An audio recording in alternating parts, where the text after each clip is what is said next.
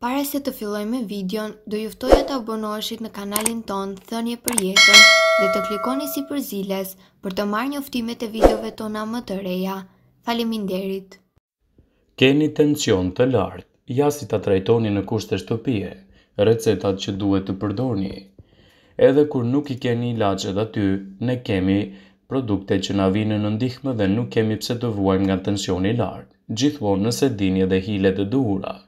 Merrni një stilolaps dhe përdorni atë si një akupunturë që do të përdoret njësoj si gjilpëra. Rezultatet do të jenë edhe të menjëhershme, por kjo teknikë do ju japë kohë të mjaftueshme më pas që të merrni edhe medikamentet e duhura.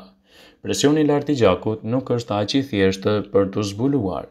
Madje, shumë njerëz as që janë në dijeni se vuajnë prej tij. Mjekët shpesh e quajnë atë si vrasës i heshtur pasi pasojat mund të jenë shumë serioze.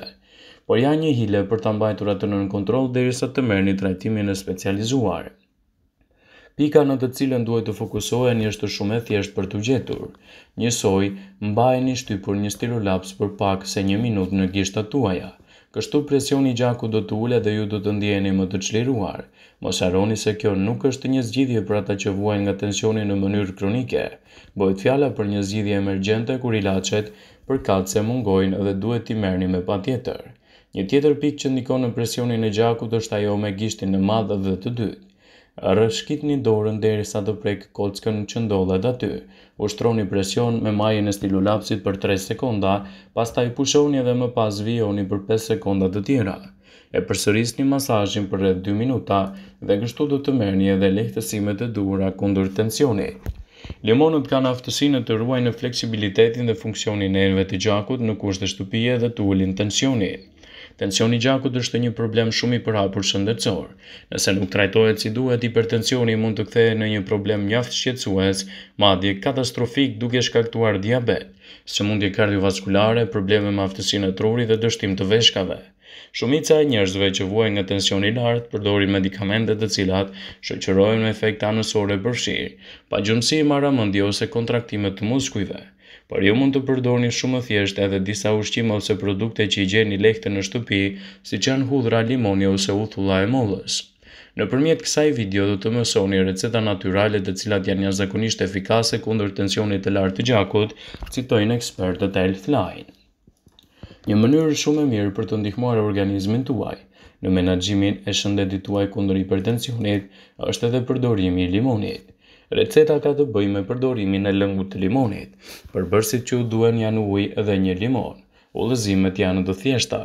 Shtrydhni lëngun e një limoni në një gotë me ujë dhe pijeni atë çdo mëngjes përpara se të konsumoni ushqime.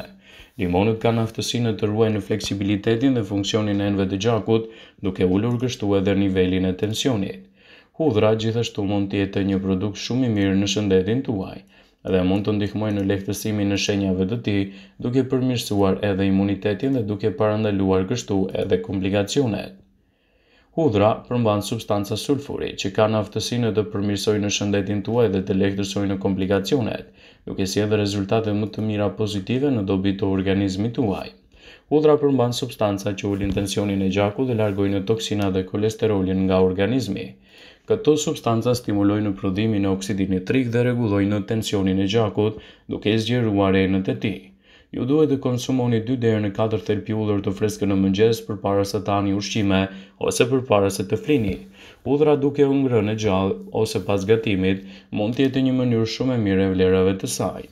Ju mund të përdorni edhe uthullën e mollës me sodë buke si një mjet alternativ në shëndetin tuaj. Përbërësit që u duan janë ujë, një majë luge çaji me sodë buke dhe një lugë gjelle uthull molle. Uthulla e mollës përmban shumë minerale të dobishme si kaliumi, magnezi dhe kalciumi. Këto minerale janë thelbësore për qarkullimin e gjakut dhe uljen e tensionit. Përzieni një lugë gjelle uthull molle, një majë luge çaji me sodë buke dhe një gotë me ujë.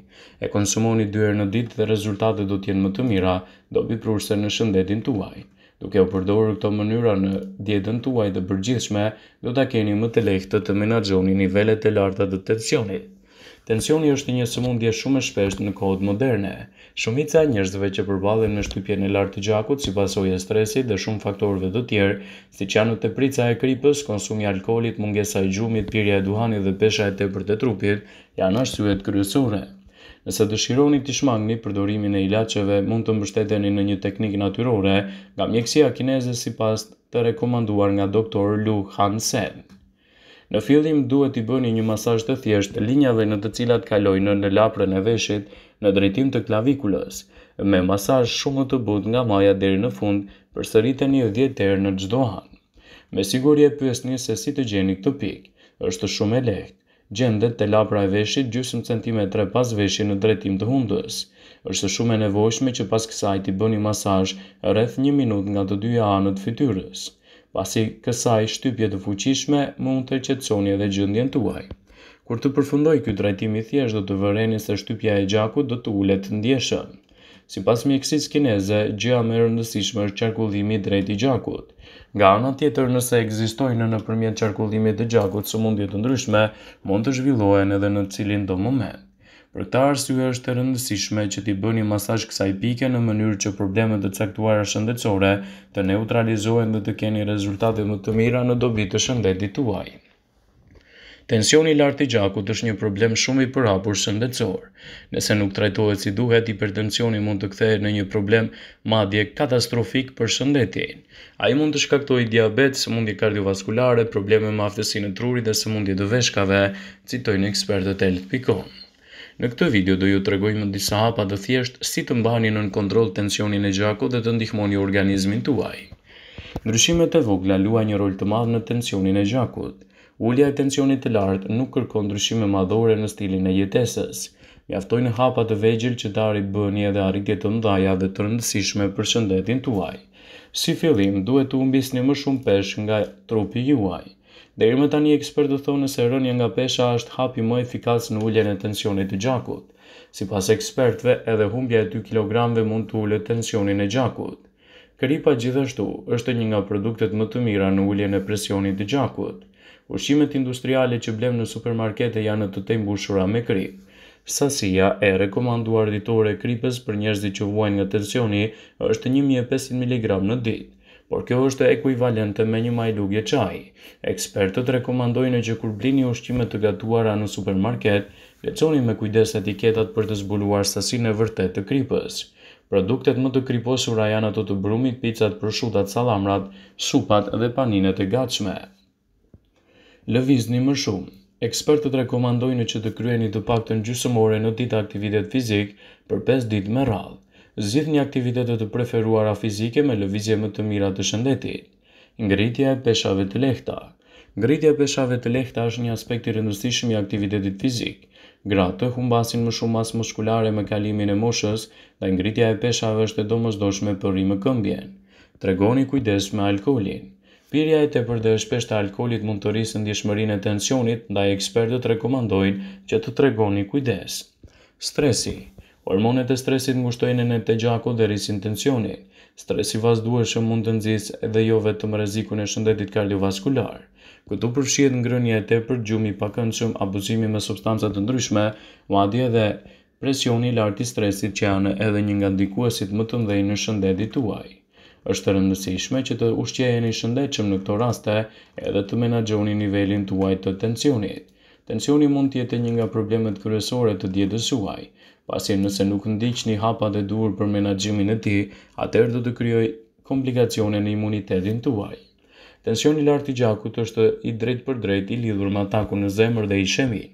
Shkaktarët e tensionit të lartë të gjakut janë të ndryshëm dhe për pasojë trajtimi bëhet gjithmonë me vështirësi. Mënyra e mbajtjes nën kontroll të tij nga ana duhet të jetë e larmishme nga ana ushqyese. Këtu përfshihen aktivitete të rregullta fizike, regjim i shëndetshëm ushqimor, megjithatë, një nga mënyrat më të lehta për të mbajtur nën kontroll tensionin e gjakut është edhe frymëmarrja. Frymëmarrja e shpejtë aktivizon sistemin nervor i cili është direkt i përfshirë në çlirimin e hormoneve të stresit. Ndaj duhet të tregoheni më të vëmendshëm me ato që zgjidhni të përdorni. Vëmendje, Informacionet në këtë video kanë për qëllim që të plotësojnë, të mos zëvendësojnë këshillat e mjekut tuaj ose ofruesit të kujdesit tuaj shëndetësor dhe nuk kanë për qëllim që të mbulojnë të gjitha përdorimet e mundshme masat paraprake ndërveprimet ose efektet e tyre negative në shëndetin tuaj. Pasi ta dëgjonit këtë video, do ju ftoja t'i bënit like dhe ta shpërndanit atë në profilin tuaj në mënyrë që të informohen dhe miqtë e tuaj.